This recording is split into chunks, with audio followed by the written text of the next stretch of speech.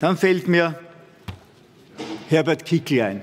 Das war eine Provokation für Sparpotenzial. Das war die Sparpartei FPÖ, als er um 2,3 Millionen seine persönliche Kavallerie als Gauleiter im Innenministerium errichten wollte.